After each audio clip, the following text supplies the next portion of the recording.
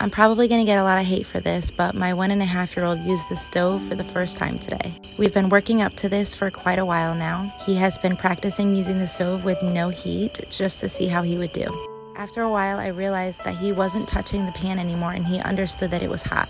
I don't feel comfortable with him using the big stove just yet, but he used a mini breakfast cooker to scramble some eggs. He always sees his three year old brother use the stove and he gets so upset when I tell him that he can't. Because of that, I decided to start teaching him with the stove off. And he did so good, so I felt like he was ready to try on very low heat today.